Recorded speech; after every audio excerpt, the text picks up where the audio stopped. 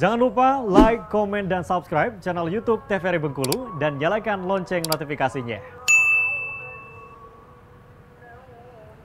Pasca kenaikan harga BBM bersubsidi, Pemda Kaur akan menguncurkan bantuan langsung tunai atau BLT BBM dalam waktu dekat. Kuota bantuan yang bersumber dari APBD Kabupaten Kaur ini diperuntukkan bagi para nelayan dan petani. Berdasarkan data Badan Pusat Statistik Kabupaten Kaur, tingkat kemiskinan di Kabupaten Kaur untuk tahun 2021 yang lalu berada di angka 18,6 persen, yang mengalami kenaikan sebesar 0,15 persen dibandingkan tahun sebelumnya. Untuk meringankan perekonomian warga, Pemda Kaur akan mengucurkan bantuan langsung tunai atau BLT BBM dalam waktu dekat ini.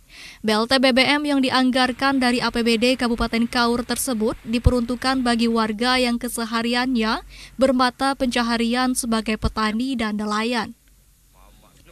Wakil Bupati Kaur Herlian Muhrim mengatakan bahwa pihaknya saat ini sudah menganggarkan bansos berupa BLT BBM.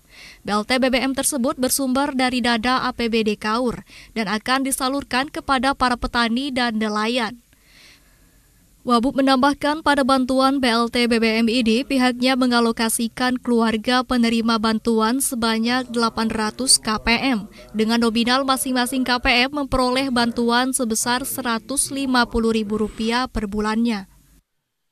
Uh, untuk tahun ini mungkin dengan efek di apa namanya uh, efek lagi interpelisir di masalah di nelayan semuanya yang terlibat itu okay. dan mungkin akan ada uh, eh, APBDP ini ada untuk kompensasi BBM yang terkena dampak di Kabupaten ini.